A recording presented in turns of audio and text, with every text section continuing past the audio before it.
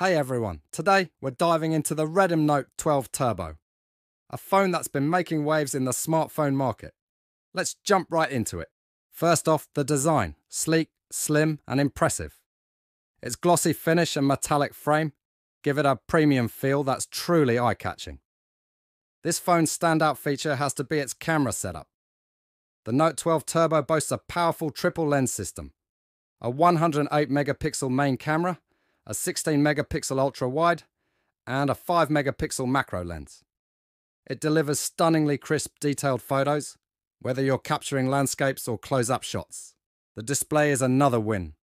A vibrant 6.7 inch AMOLED screen with a 120Hz refresh rate, offering a buttery smooth experience, whether you're gaming, streaming, or simply scrolling through your social feeds. Running on the latest Snapdragon 888 processor.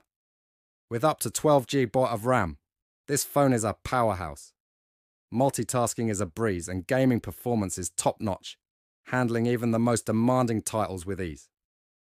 Battery life is solid thanks to the sizable 5000 mAh battery, plus it supports fast charging, so you spend less time tethered to a charger.